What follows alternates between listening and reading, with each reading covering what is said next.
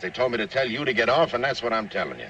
You mean get off my own land? Now, don't go to blaming me. It ain't my fault. Whose fault is it? You know who owns the land, the Shawnee Land and Cattle Company. And who's the Shawnee Land and Cattle Company? It ain't nobody. It's a company. They got a president, ain't they? They got somebody who knows what a shotgun's for, ain't they? Oh, son, it ain't his fault because the bank tells him what to do. All right. Where's the bank? Tulsa. What's the use of picking on him? He ain't nothing but the manager. And he's half crazy himself trying to keep up with his orders from the east. Then who do we shoot? Brother, I don't know. What decade are we in? I have to be honest, I never thought that The Grapes of Wrath would strike me as the most topical movie for right now. But here we are. People are losing their homes, losing their jobs, losing everything, and nobody knows exactly who's to blame. The Grapes of Wrath takes us down into the depths of the Dust Bowl, and it follows the Joads, a family from Oklahoma who gets kicked off of their land and goes off to California in search of a brighter future. We'll be coming through here tomorrow, you know. I know. We be out. We be out by sunup. The central figure is Tom Joad, played by Henry Fonda, who returns home after a stretch in prison to find that his home is about to disappear.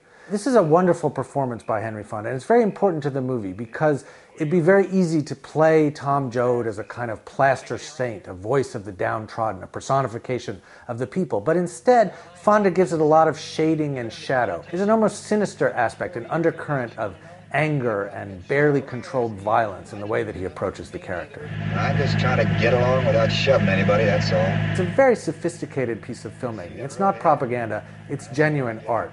This is partly because John Ford and his cinematographer Gregg Toland, who's also the guy who shot Citizen Kane, create an extraordinary range of visual textures.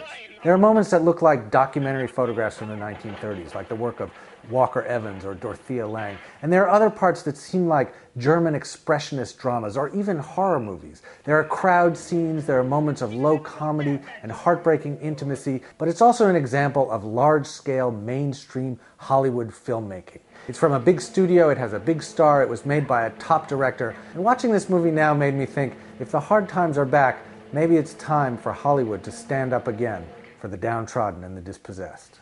Wherever there's a fight so hungry people can eat, I'll be there. Wherever there's a cop beating up a guy, I'll be there.